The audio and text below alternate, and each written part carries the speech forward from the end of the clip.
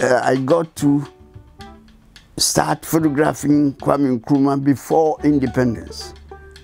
It wasn't only Nkrumah I photographed. I photographed everybody that mattered, the opposition as well as the government.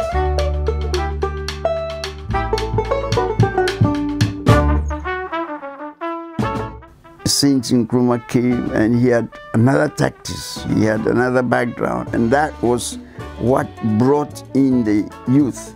In order to succeed, he had to unite the various tribes in Ghana in some way.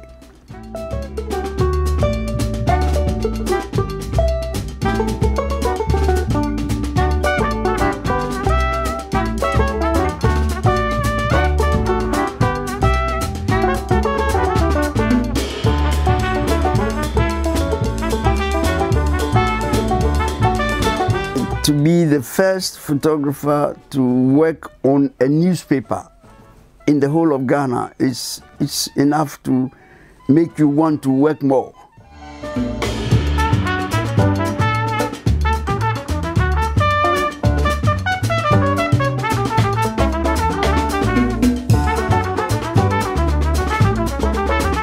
Oh, I finished school while I was already deep in basket weaving, you know, cloth weaving and basket weaving. I, I had the luck of living in the same house as the special arts and craft teacher.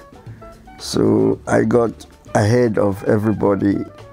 Because photography was already in my family, I had two uncles and two cousins doing photography.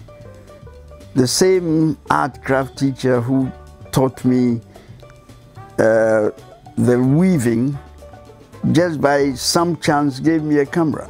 I started working in my aunt's room in our house. All I needed was a dark room, somewhere where I can shut the door and nobody came in except me.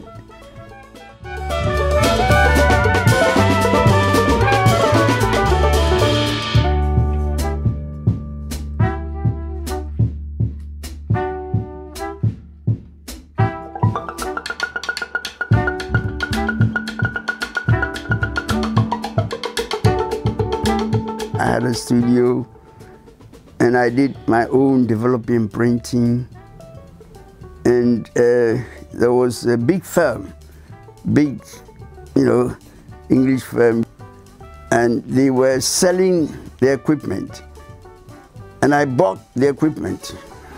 How I managed to do it, I don't know, but I bought the equipment.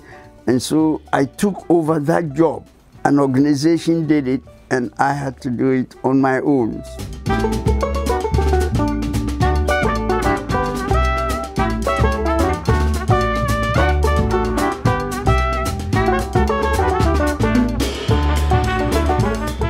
One of my favorite pictures uh, of uh, Mike Eghan, who was a, a DJ and was working with the African service of the BBC. I like the shots I took at Trafalgar Square, but the Piccadilly Circus is, shot is now iconic uh, to a point where it's being collected by people who want to remember how, uh, how London was during the 60s.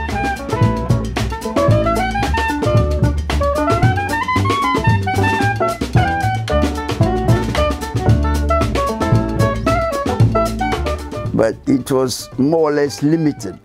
You know, it's only drum, and then once I had Flamingo, there weren't many black magazines.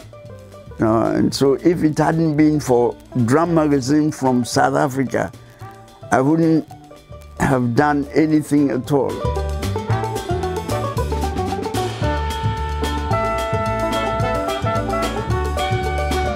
At that time, in the 60s, when I took those pictures, I was more or less at the height of my, my photographic ability. Even if I was sleeping and you asked me, wake up, let's go and do a job, I didn't have to think.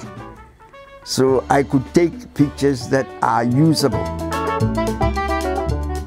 People are more important than places. So I concentrated, I concentrate on people. I like portraiture more than going to a place and just taking the scene.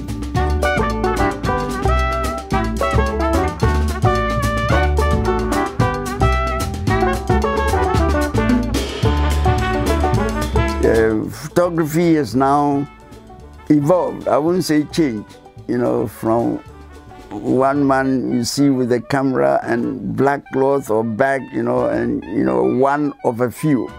Today, everybody can be a photographer or aspires to take photographs, if not be called a photographer. Uh, I started taking pictures with wooden tripod. Uh, even holding the wooden tripod to set the camera up is different from what you do today. Today you can use your one hand to pick the camera and the tripod. But th those days there is a technique of holding it.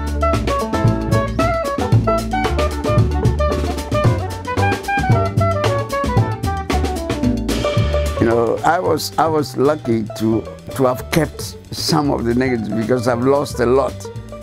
But I'm lucky to have kept most of the negatives. So you know, but uh, to to have this amount of work uh, there, and then you are being quick.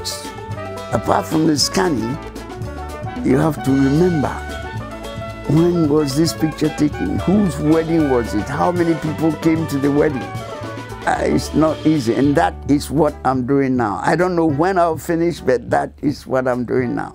And I think is the crowning, listen, that, that will crown my work because it will put value on the pictures that I'll leave behind.